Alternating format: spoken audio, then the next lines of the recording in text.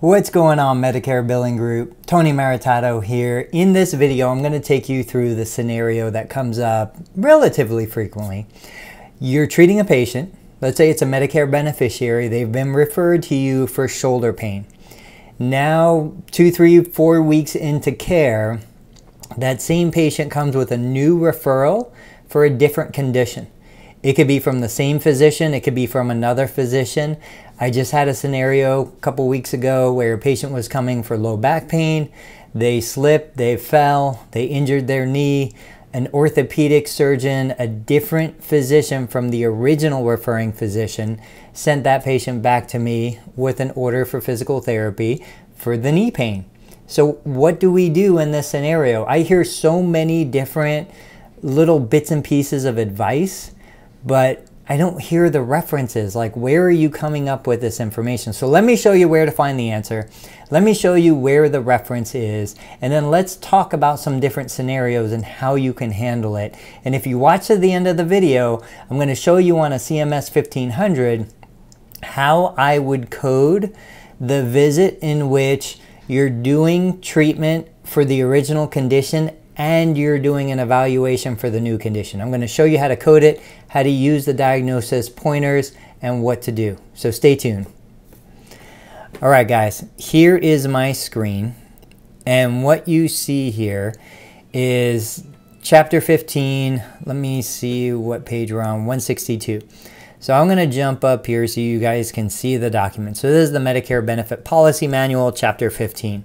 You should be familiar with it. Make sure you're looking at the most recent version just because this has been updated as of February 1st, 2019.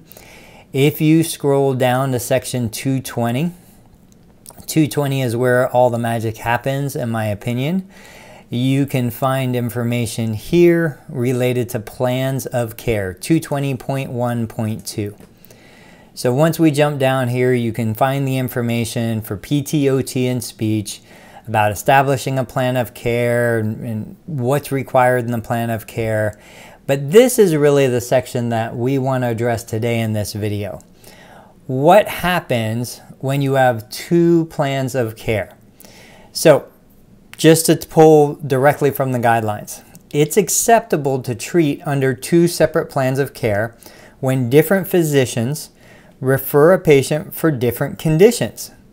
This was the situation that I had where the primary care referred the patient to me for low back pain, then a local orthopedic surgeon referred the same patient to me for knee pain. I could have two separate plans of care, um, one for each physician.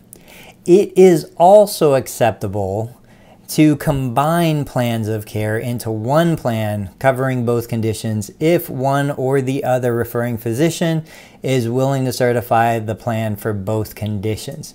And this is really what I find myself doing more frequently. Um, the patient in question has an active plan of care for low back pain.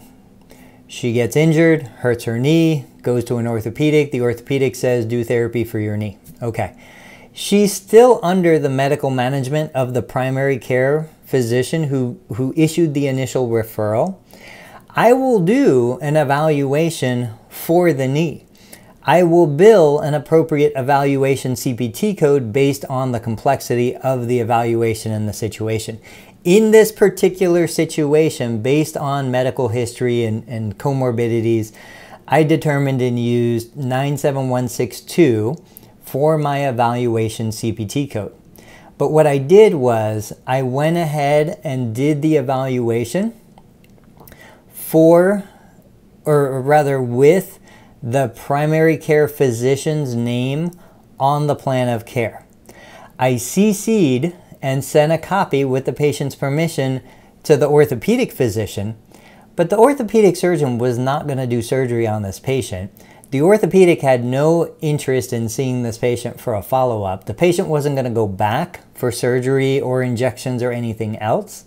And based on kind of the history and what I understood about the patient at that point, I determined the patient was more likely and more appropriate to come under the plan of care and the supervision of the referring physician. So I took what could have been two separate plans of care, combined them into one per Medicare guidelines.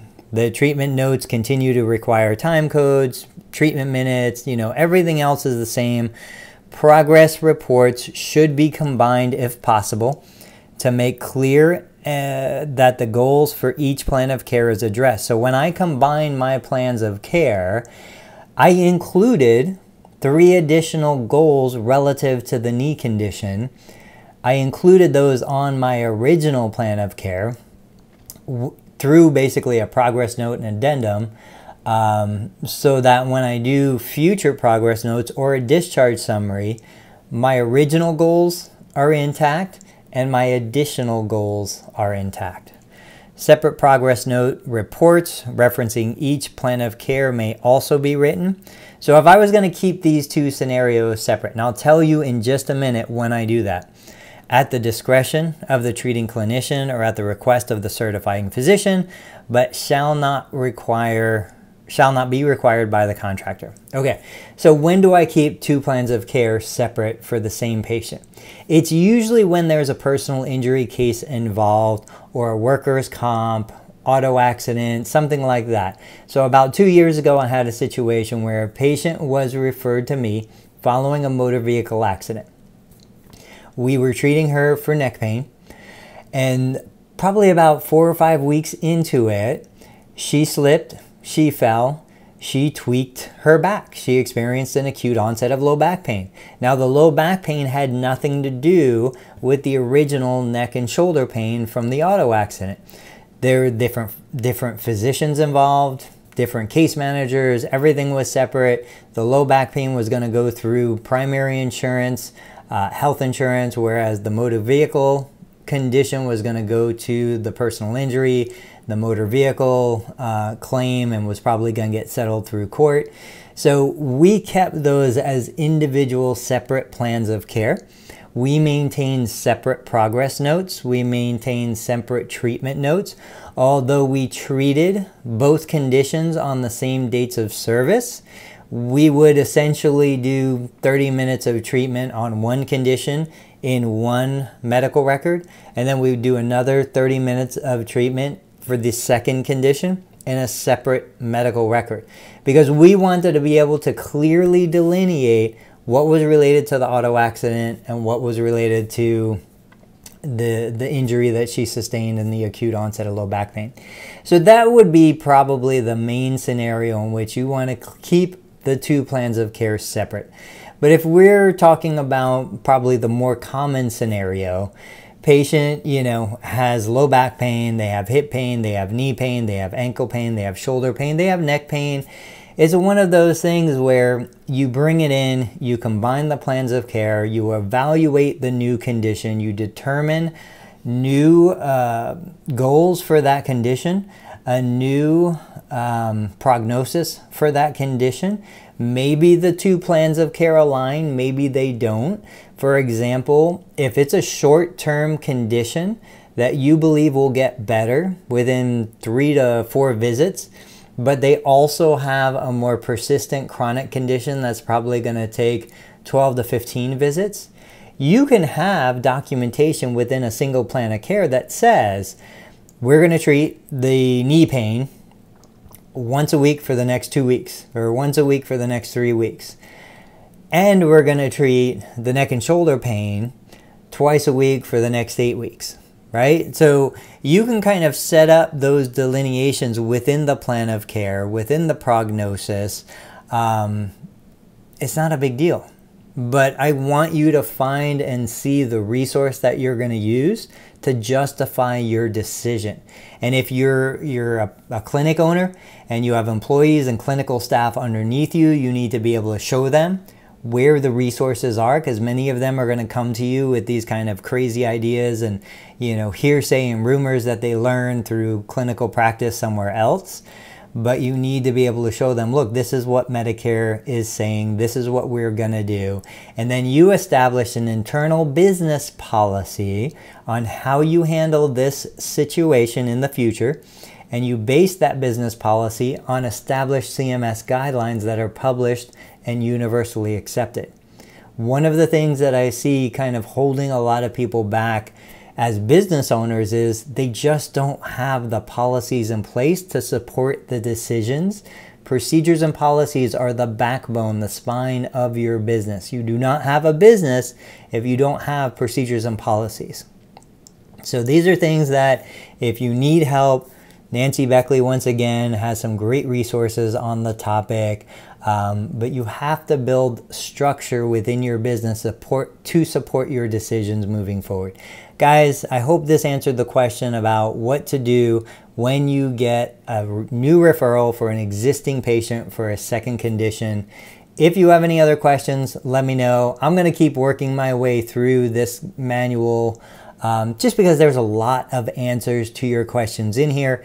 And I think people just don't quite know where to look, but now you know. Guys, I'll catch you in the next video. If you haven't subscribed, please subscribe, support the channel, comment, like, share these videos because without your help, the channel won't go anywhere. I'll catch you next time.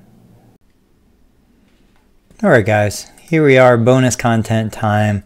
So this is a PDF document that you could fill out. And I'm just going to create this as if we were looking at the scenario I mentioned earlier. I treat patients in my clinic. So we've got date of service, place of service. Let's say um, the original diagnosis was low back pain. And now they're going to come to me. I know in the um, video I mentioned knee pain, I'm going to say difficulty walking. So what we're going to do here, so now this is the new diagnosis. I've been treating the patient in this scenario for low back pain for three weeks. This is a standard follow-up treatment on January 1st, 2019, place of service 11. I'm going to be doing um, therapeutic exercise. I throw in my GP modifier. Now, normally, I would just use diagnosis pointer A. And let's say we're doing two units, $50 a unit. This would have my NPI number in there. Um, this is the rendering provider NPI. Please remember that. Whoops, let me do that. Okay, now let's say we're looking at the same data service, still in my facility, and I'm going to do manual therapy and this is going to be one unit sorry about that one unit of manual therapy.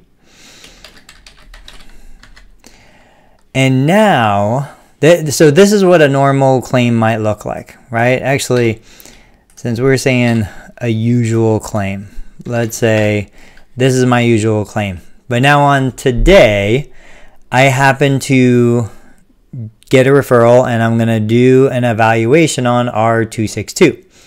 So what I would be doing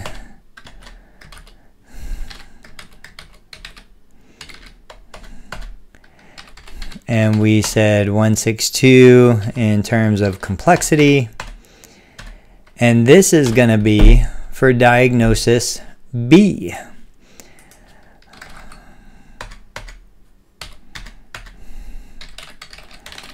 All right. Now you have a couple variations on this. So let's say, for example, I don't just evaluate the difficulty walking, but I also treat the difficulty walking with therapeutic exercise, but I don't treat the difficulty walking with manual therapy. This is what the claim would look at would look like. Now let's say a patient comes back 2 days later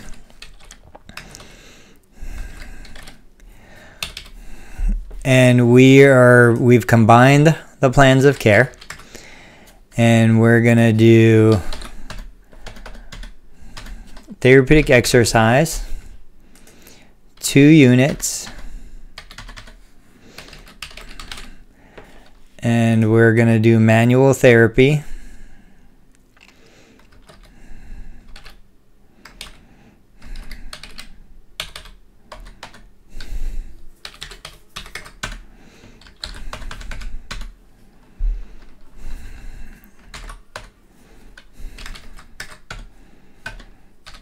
two units.